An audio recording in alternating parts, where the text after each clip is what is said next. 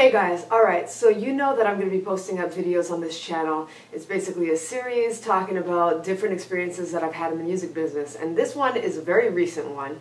Check this out. So, about a month ago, there was a producer who kept on getting in touch with me, and he sent me like probably about 10 emails just you know talking about the music business and how he wants to work with me and whatnot. And oftentimes i don't reply to emails if i don't if they don't really seem professional to me.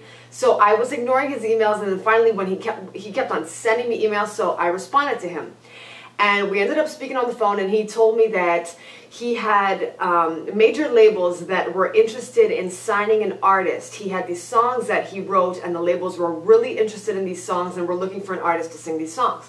So I basically told him that I appreciate him reaching out to me, but at the same point in time, if I'm going to sign to a record label, I want to sign to a label that's extremely interested in me as an artist, and not necessarily because they're interested in songs and, you know, then assigning any artist to those songs. So he was like, he, he understood my point, and he's like, okay, okay, but you know what? I think we should at least meet and uh, let's let's set up a dinner meeting and go through things because I have some ideas that may be of interest to you. So I was like, you know what? Cool. Yeah, let, let's meet up and go through things. So finally, the day after we were confirming, and he sent me a text message and he said, So how about tomorrow at TGIF's? And I replied back, I'm like, Tomorrow sounds great. Actually, we'll be able to do somewhere other than TGIF's because I'm a vegetarian. There's not much for me to eat there. And then he replies back to me and he says to me, It's not about eating, it's about getting your career straight.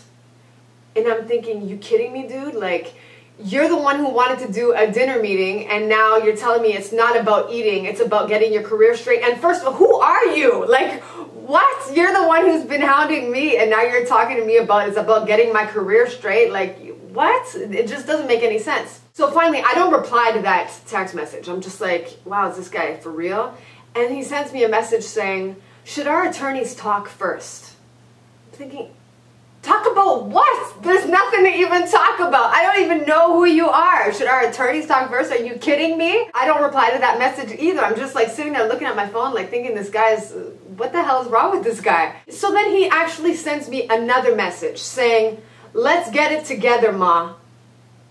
Let's get it together, ma? like, who the hell is this guy? And he's so he's so unprofessional. This is ridiculous. So of course I'm not replying to any of his messages, and I'm I'm definitely not meeting with this guy tomorrow. Like he's already turning out to be like some kook, which is why I, I take a very long time replying to business emails because you always have to do background checks on these freaks. Anyhow, I think it's getting under his skin now that I'm not replying to him. so then he sends me another message saying, you know what, how about we reschedule because this is getting too complicated for me. Like, hell no am I ever scheduling anything with you ever. he says, he sends me another message right after saying, um, get yourself together as an artist and as a woman. My associates dislike weakness. Then he sends me a picture of himself in the studio up against his console. As if like, I'm gonna regret that I didn't meet him because like I should be working with him. Like, dude, you're laughable at this point. Mm, Like, come on, dude, you freaking kidding me? Oh my god if anybody ever calls themselves like I'm a Grammy maker and I do this, I do this, like really look into them because like those are, the people who are real in the business don't really come across like that most of the time. So you have to really be careful with with these uh, with these kooks. What's wrong with people?